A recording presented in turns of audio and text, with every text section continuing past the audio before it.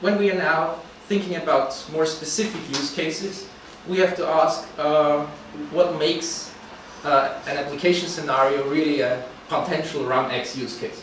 Well, the first thing is we are deploying multimedia assets on the web. Because if we just have them in a closed application, then we don't have the problem because it's that application dealing with the, with the media asset and the metadata. In addition, we publish metadata that describes this asset uh, and we publish it uh, in a format that's not purely textual and in a format that's not already RDF. Because if it's already RDF, then we have interoperability with the semantic web and there is, is no other problem to solve. But typically, when you have media assets, you have metadata in a specific format and you want to publish it in that format. And, of course, there must be some need that a semantic web agent uses this metadata. If it's only for humans, then uh, text will, will be a fine solution. But if you want a semantic web agent to use it, it has to be in a form that this agent can understand. So one use case is photo sharing. It's, it's probably one of the most popular uh, Web 2.0 applications around. And as you know, uh, digital images have EXIF information embedded. It's all kind of uh, when the picture was taken, all the settings of the camera and so on. And some photo sharing sites, I've, as example I've taken here Flickr and Keybase, they use this information and they display it. And what you see is the rendered HTML on these sites. So this is the Flickr one and this is the Keybase one. And you see they are quite different in formatting and, and they display different properties. So what if you want to use that? The EXIF metadata in the image is actually standardized. But you, as you've seen, the photo sharing site publishes it in, in different ways. So it's not easy to have interoperability using EXIF information from different sites. Another application is shopping for music online. Um, there are a number of those uh, portals and they're uh, increasingly uh, getting market share of, of music sales. And this is, for example, iTunes. And you see, this is the metadata dialog. And actually, it's quite poor. I have, a, I have the title, I have the internet, and I have the, the concert, and of course I have the length, which is not a really, really amazing kind of metadata because it's very simple to get. But I don't get much more metadata about it. Uh, on the other hand, uh, metadata for music are available, and there are quite common formats for that, like ID3, which is embedded in, in MP3 files. And on the other hand, there's also comprehensive music databases around, like MusicBrainz, which even allows you to get the metadata in a proprietary XML, but also in RDF. Uh, so it would be good to link these things, because then I could get much more information about the music I can buy online. So you could link artist information, reviews about uh, music, recommendations, and so on. Uh, if you were able to get the metadata of the music store in a way that's compatible with the semantic web. Um, a more interesting use case is describing video structure because now we are talking about much more complex metadata than just that global description of title and, and artist and so on. So for example, the NBA publishes uh, short summaries of NBA games uh, on YouTube. There is a specific YouTube channel for that. And you see a screenshot of that. And actually the, the metadata is, is quite poor. It tells you uh, to, to visit uh, NBA.com video for more highlights and, and just gives you very, very little uh, description of what's happening there. And the tags with NBA and highlights are also quite poor.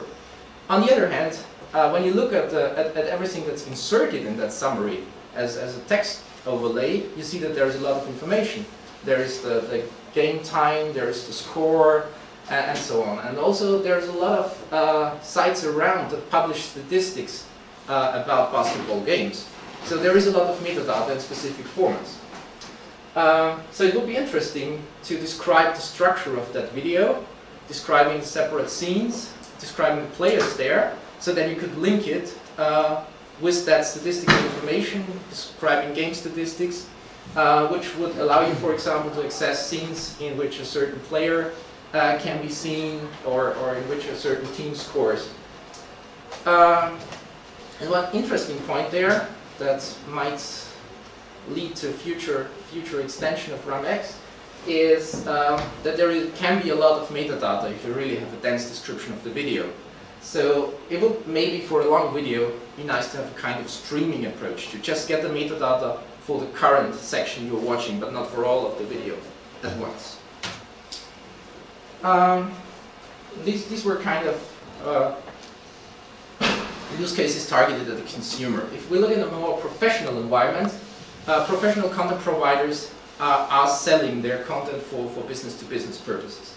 An example is BBC Motion Gallery, where you can buy stock video clips for reuse. Um, and you see that they have a lot of metadata published with that, they have a lot of tags, but it's kind of unstructured in the way they publish it. On the other hand, they have very well-structured databases in-house. For example, SMEF is the, the BBC archive uh, database format, or their, their data model. And there's also EBU Meta, which is used as professional format for business-to-business uh, -business exchange between broadcasters. So there is much more metadata in a much more structured format than just rendering HTML here. And this could be useful uh, for, a, for a potential customer of this application to get more information and link it with information available somewhere else on the web. Um, related to this is, of course, uh, rights metadata. In, uh, as soon as you're talking about selling professional content, this is, is a very, very crucial thing. So in some cases, it's simple. Uh, this is an example for, from Flickr uh, that uses a specific Creative Commons license. So just providing uh, that link, uh, so this, this URI describes the license model because I have the URI, it specifies this Creative Commons license, so this is quite well defined. Uh, another example is from Getty Images. So uh, when you look at, at, images you can buy from them, uh, you can open a window that shows you uh, the rights information. So what you get is a kind of license agreement and you see from the position of the scroll bar, this is just a small snippet of it, so you can spend one or two hours probably analyzing that text. Um, this is not only a very tedious and boring task for a human, but it makes it impossible to automatically search, for example, for images that are covered by a certain license or that allow you to do uh, certain things with the image you want to buy. So there are metadata formats for digital rights information, such as the MPEG 21 rights expression language. So if you publish uh, the metadata in that way, uh, this would potentially allow uh, an agent to link it with other information on the web and do a search that also includes metadata. So this was a kind of overview of, of different use cases. And what we've tried to do is to abstract the requirements that come from these use cases. So it shall be possible uh, when we publish media assets on the web to use existing multimedia metadata formats to describe them. And not only to describe something uh, on, the, on the granularity of a complete HTML page, but also uh, different elements in it. For example, one certain image uh, that is embedded in that page. And the resulting description shall be consumable by a semantic web agent. Um, in order to make that work, there should be a reference to some service that is capable to convert the a multimedia metadata format X to RDF, so that a semantic web agent gets something it can use.